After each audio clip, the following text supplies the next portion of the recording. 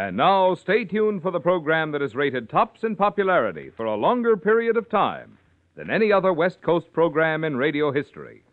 The Signal Oil program, The Whistler.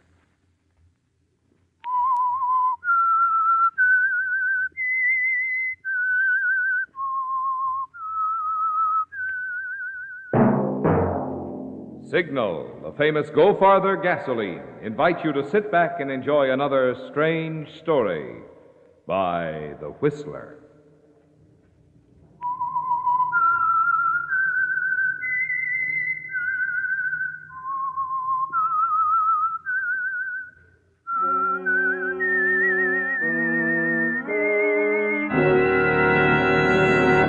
I am the Whistler, and I know many things, for I walk by night. I know many strange tales hidden in the hearts of men and women who have stepped into the shadows. Yes, I know the nameless terrors of which they dare not speak.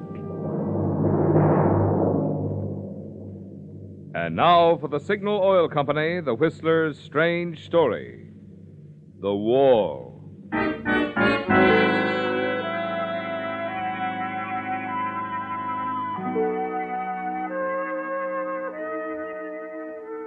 On the edge of Cartertown, a small aging community in Northern California, stands the equally aging structure known as Channing House.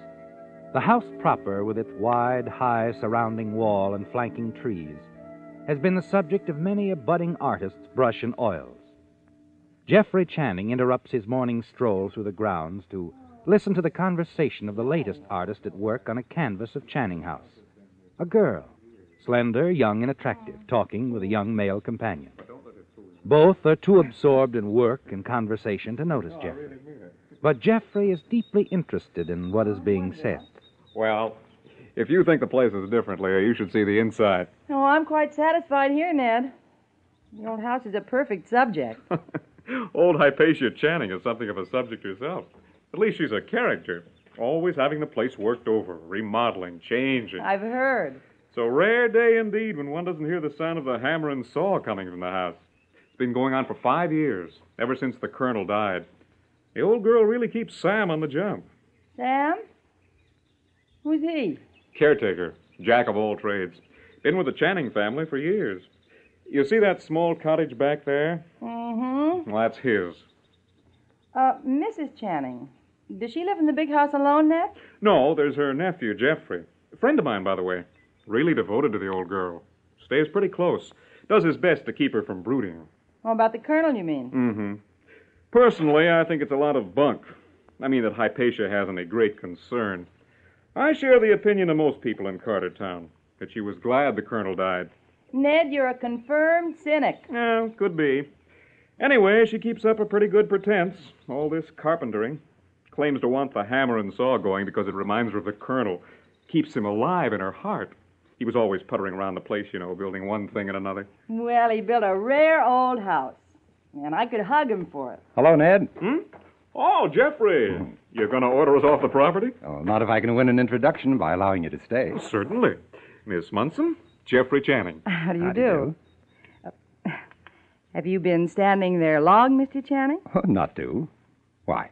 I'm afraid Ned's conscience is bothering him. Hmm. He's been venturing opinions about the occupants of Channing House. Now, my conscience doesn't bother me at all, Leah. Jeffrey knows what people think. Yes, I'm afraid he's right, Miss Munson. I know just what they think.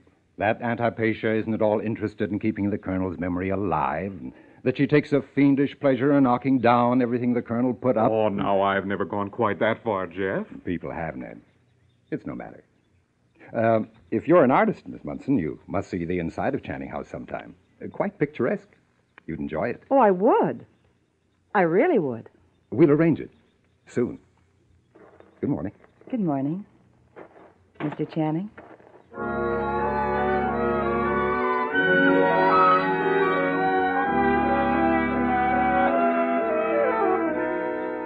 You turn, Jeffrey, walk away along the path to the house. An attractive, exciting girl, isn't she? And you tell yourself that you do want to see her again, soon. Suddenly, an odd sound reaches you. Not the sound of carpentry, is it, Jeffrey? No, the dull, frightening sound of a pick striking against stone. You break into a run. Finally, as you enter the garden, you slow down and stare with an expression of relief on your face as you catch sight of Sam, the man of all work. He's only tearing down the old fountain, not the wall. And there's no cause for alarm at all. You continue along the walk and then enter the house. Jeffrey? Oh, good morning, Aunt Hypatia. Didn't keep you waiting, did I? No, I slept late this morning. Breakfast is ready. Do sit down. Thank you. Out for your usual morning stroll? Uh-huh. Uh, met a friend from town. He'd brought an artist out. I promised her a look inside. Oh, Jeffrey. I wish you hadn't. Well, now, what harm could Please. come? I don't want gawking curiosity seekers wandering through the house. The memories here. They're too sacred. Uh, yes. All right, Aunt Hypatia. Pass the marmalade, will you?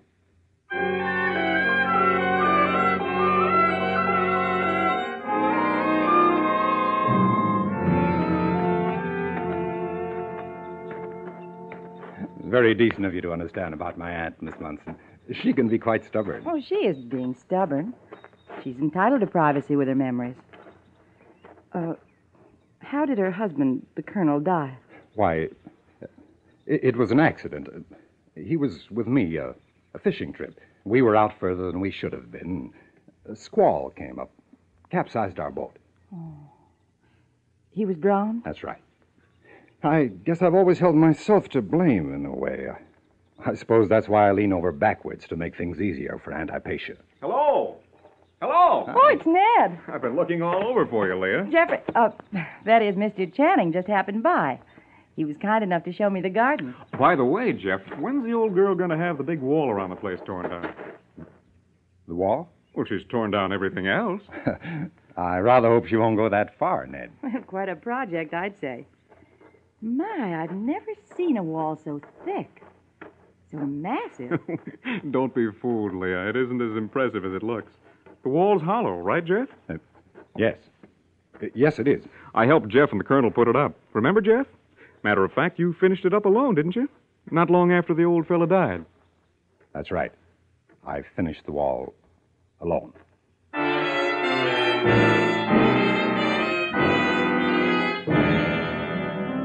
You want to scream the words, don't you, Jeffrey? Because the wall has been on your mind so much the past five years. Yes, it's hollow, isn't it? And it's one landmark you'll do everything in your power to prevent your aunt from destroying. That's because of what the hollow wall contains. Colonel Channing didn't perish at sea, did he, Jeffrey? No. You killed him in a blind rage. And in the dead of night, you placed his body inside the wall, sealed it up. Then you invented the story of the drowning at sea, and everyone believed it. Everyone, that is, with one possible exception. You've often wondered about Aunt Hypatia, haven't you, Jeffrey? Wondered if she suspected you, what you'd done. And if that's the reason, perhaps, why she's constantly having the house remodeled. A good excuse to cover up her search. what is it, Je- Mr. Channing? Are you all right? He's dazed, Leah. Over you, I'd say. Just call him Jeffrey. He'll be all right. yes. Yes, I- I'll be all right, Leah. I don't blame you. Uh, Got something else to think about, haven't you, Jeffrey? Something beside Aunt Hypatia and this old house. Yes, Ned. I do have something else to think about.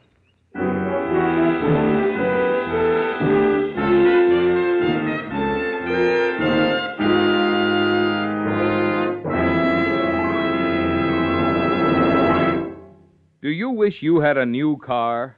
Then here's a tip. The next best thing to a spankin' new car is a car of any age powered with Signal ethyl gasoline.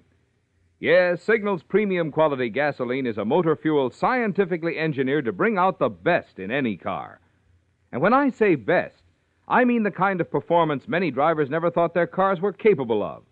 I mean starting that has your motor humming the instant you touch the starter. I mean pickup, the kind that carries with it that satisfying feeling when the back of the seat nudges you gently forward, reminding you what thrilling pep your accelerator foot commands. And I mean power that erases knocks as easily as it erases hills, hills that used to call for shifting. Don't get the idea, of course, that Signal Ethyl's going to let you step away from all new cars. After all, smart new car drivers use Signal Ethyl, too, to bring out all the exciting performance that's built into today's power packed high compression motors. But of this you can be sure. The next best thing to a new car is your car powered with Signal Ethyl gasoline.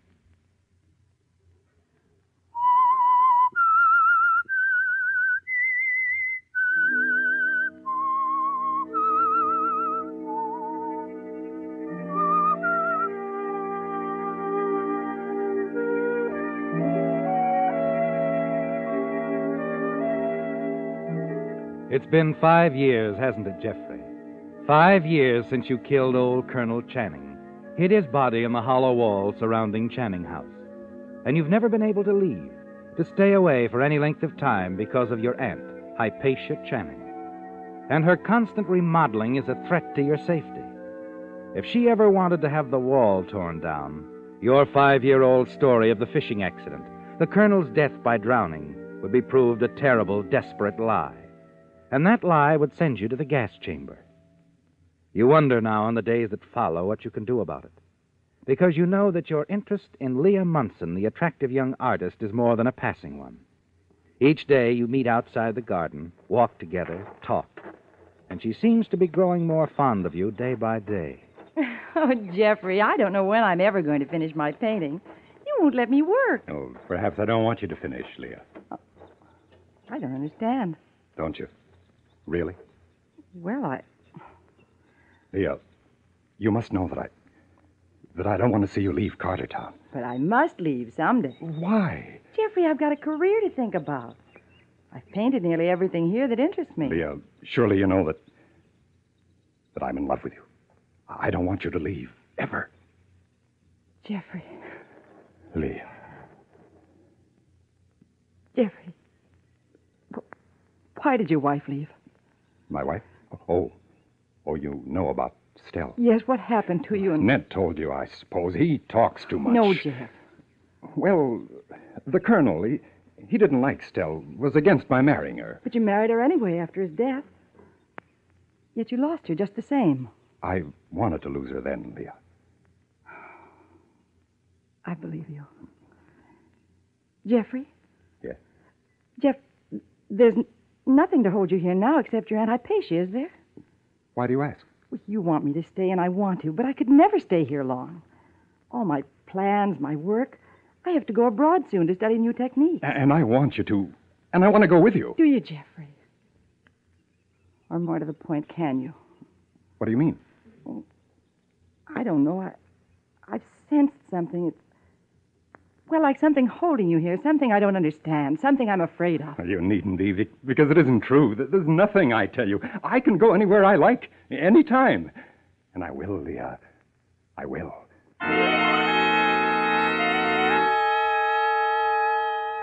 You've made up your mind, haven't you, Jeffrey? You've got to free yourself of Channing House. And it must be done soon, or you'll lose Leah. It's going to take a lot of thinking, isn't it? And then one evening you're in the library, sitting across the chess table from your aunt. Hmm. That wasn't a very smart move, you know. Look. You see? Yes, I see, Aunt Hypatia. You just haven't got your mind on the game, that's all. I'm afraid not. It's that girl, isn't it? Leah Munson. Why don't you bring her here? I'd like to meet her. Well, I wanted to bring her around a long time ago, but you said. Never mind what I said. Ask her for tea tomorrow. Well, I. Excuse me, Mrs. Channing. Oh, Sam, come in, come in. Got the estimates asked for, Mrs. Channing. Good, good. Got 'em all writ down on this here piece of paper. Let me see, Sam. Mm-hmm. Hmm?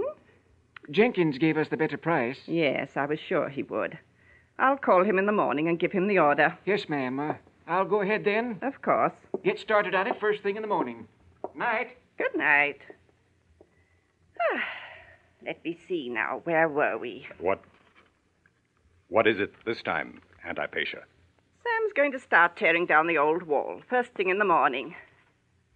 Well, Jeffrey, go ahead. It's your move.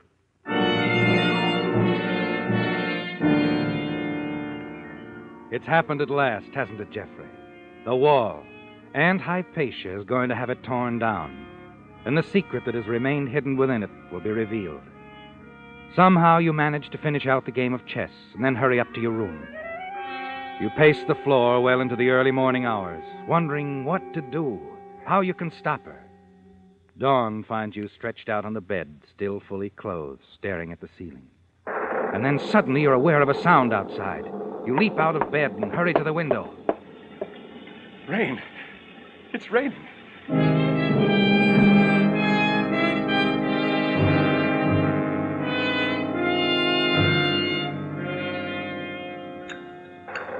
Good morning, Aunt Hypatia. It's a miserable morning. Absolutely miserable. I do so detest rain. It's so depressing. Oh, I don't know. I rather like it.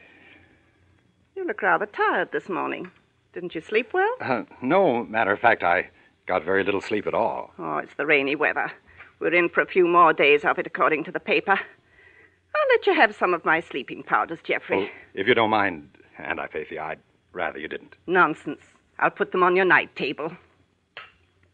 I, uh, I suppose the sudden change in weather has altered your plans about the wall? Yes, but I'll get around to it as soon as the rain's over.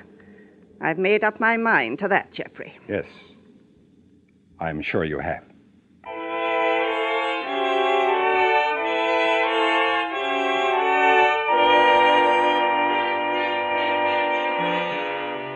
Yes, Jeffrey.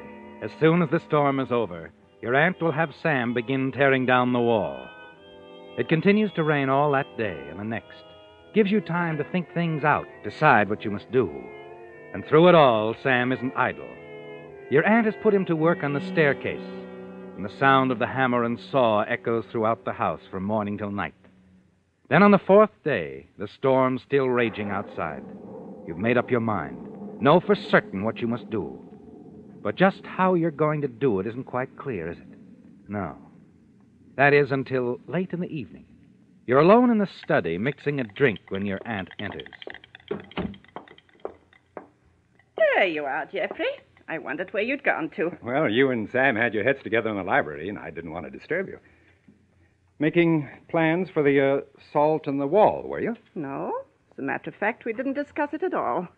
When's Sam going to finish up with the stairway? Quit rather suddenly this afternoon.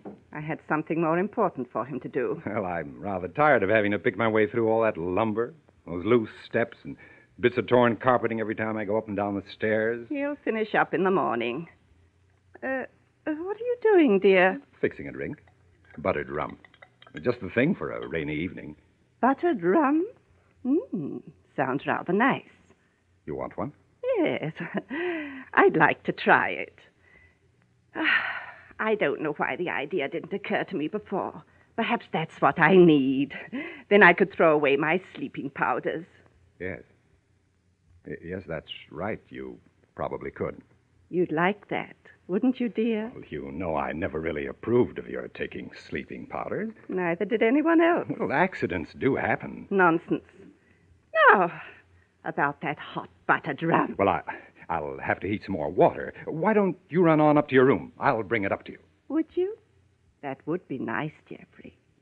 Very nice.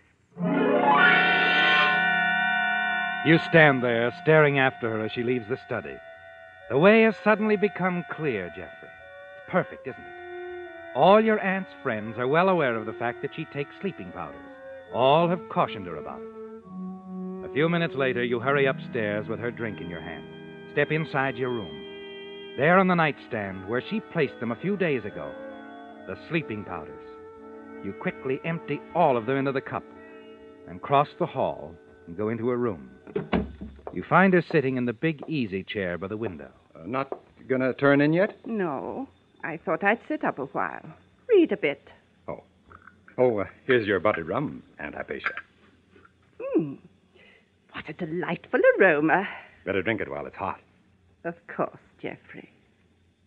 Good night, Aunt Hypatia. And sleep tight.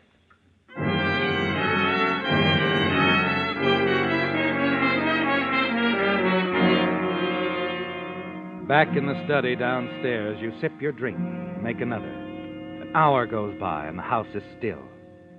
You sit there listening to the storm outside. And then you hear something else a car stopping in front of the house. You step to the window, peer into the darkness. And as you do, you whirl and race into the entry hall. Aunt Hypatia. She's lying in a heap at the foot of the stairs. Aunt Hypatia? Aunt Hypatia? She's dead.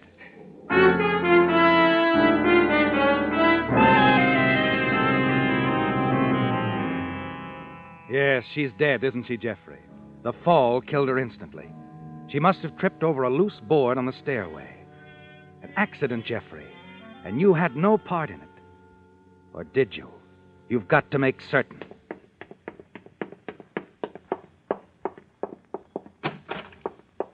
The cup of buttered rum with the deadly sleeping powders you fixed for your aunt is on the nightstand next to her bed. But you see, she hasn't touched it. You sigh with relief. Your aunt's death really was accidental. And then you pick up the cup.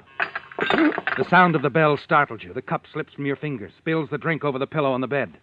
A dark stain begins to spread slowly over the pillowcase. With your aunt killed accidentally by a fall down the stairway, this could ruin things for you, couldn't it, Jeffrey? You can't afford to have any trace of the deadly rum and sleeping powders found. Quickly, you pick up the stained pillow and hurry back to your room. You pull out one of the drawers in the old bureau in the closet. Stuff the pillow inside, far to the back. Close the drawer.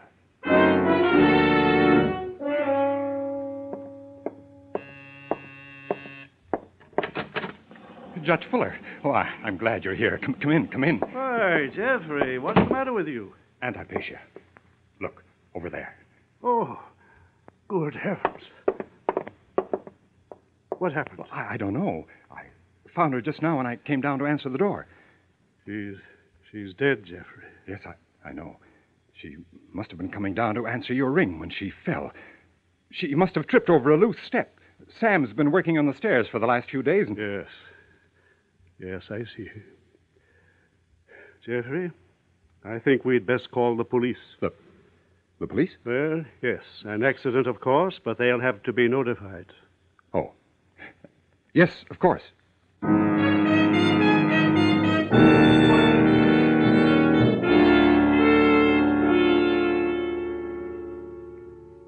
Sheriff, what do you think? Well, there's no doubt about it, I'd say. Well, that's the way it happened, all right. Mrs. Channing tripped over those loose boards up there. Poor Aunt Hypatia. Uh, I'm, I'm real sorry about this, Jeff. Real sorry. It's a great loss, my boy, for all of us. Oh, um, by the way, Judge, uh, what were you doing here tonight? Uh, Mrs. Channing wanted to see me. As you know, I've been her attorney for years. Yeah. She sent Sam around in the car to pick me up. Do you know what was on her mind? Well, when she called, she said she wanted to discuss a financial matter, but she didn't say what it was. She did make quite a point of my being here at 11, though. That's odd. When she went upstairs, I thought she was going to retire for the night. Well, perhaps you did, my boy. I don't know that she considered our appointment a secret, but I can assure you that she had no idea of going to sleep when she called me this evening. I don't quite understand. Well, it's certainly not important now, Jeffrey. No. No, I suppose not. Can I be of any help to you, Sheriff? No, Judge, I, I don't think so. Oh, Jeffrey, I, I guess I don't have any more questions to ask you either. Now, as far as I'm concerned, your aunt's death was accidental. Purely accidental.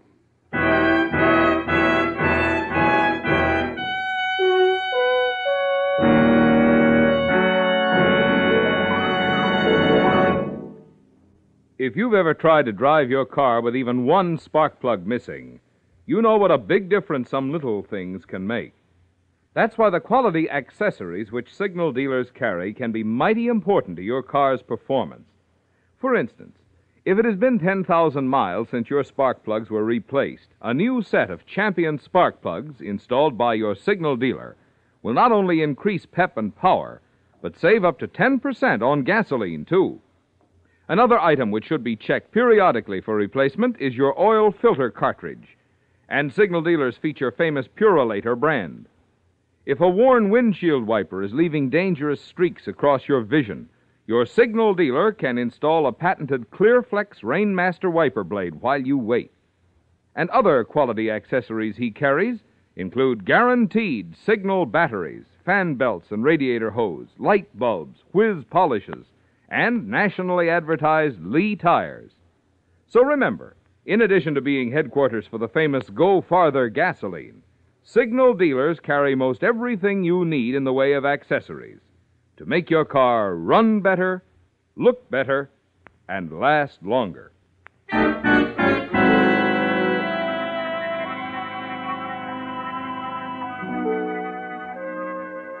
It's all over now, isn't it, Jeffrey? Aunt Hypatia is dead. An accidental death. And in the sheriff's own words, you had absolutely nothing to do with it. You're no longer a prisoner in Channing House. Now you're free to marry Leah Munson. Go wherever you please, aren't you?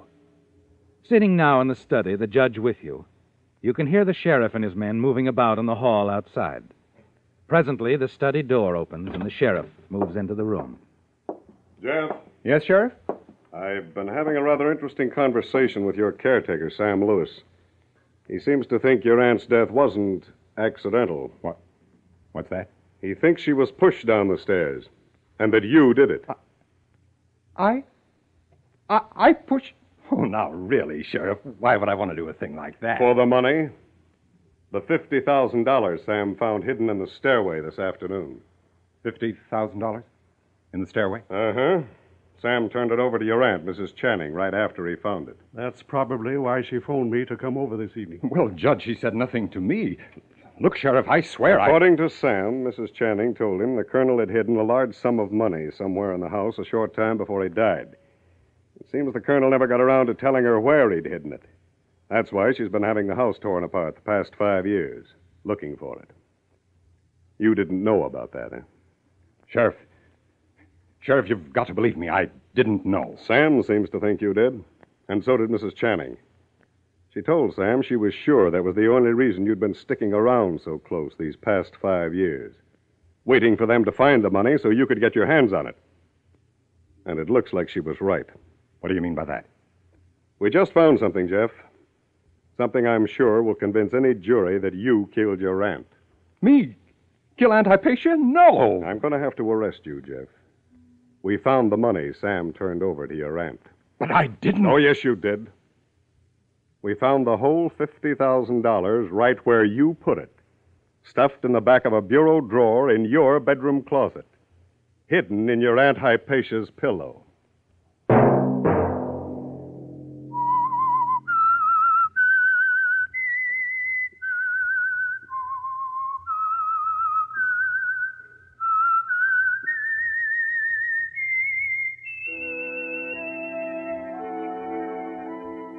Let that whistle be your signal for the Signal Oil program, The Whistler, each Sunday night at this same time. For men over 17 who are eligible for military duty, here's a reminder from the National Guard. If you want to be sure of staying with buddies from your own hometown, train with your local National Guard unit. For more information, inquire at nearest National Guard headquarters.